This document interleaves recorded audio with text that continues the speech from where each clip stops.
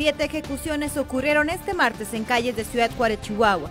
Lamentablemente, uno fue el que paralizó todos los corazones de los cuarenses tras la noticia de que una pequeña de 6 años de edad estaba entre las estadísticas criminales. Este es el momento en que padres de familia y pequeños niños de un jardín de niños salen asustados de la institución después de que Violeta Castorena muriera por un balazo en la cabeza.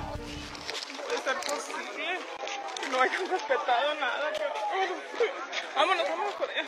También el llama. Ay, no, qué triste, qué triste para su niño, qué horror.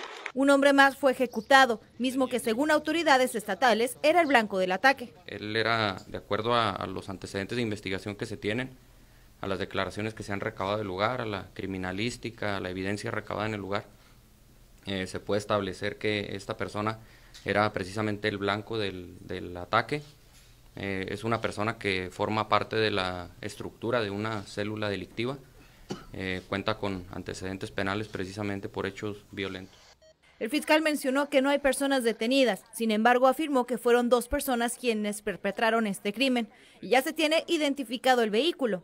No es familiar de la persona de sexo masculino, es una, eh, la, la, menor víctima se encontraba también en el exterior de la institución eh, educativa en un puesto de, en un puesto ambulante, en un puesto de comida y pues desafortunadamente este es el, este es el lamentable desenlace. La pequeña niña murió por una bala calibre .45 milímetros cuando iba a ser trasladada a recibir atención médica a un hospital. La hija del hombre que murió será atendida psicológicamente por perder a su padre y compañera del jardín de niños. Leti Villarreal, Azteca Noticias.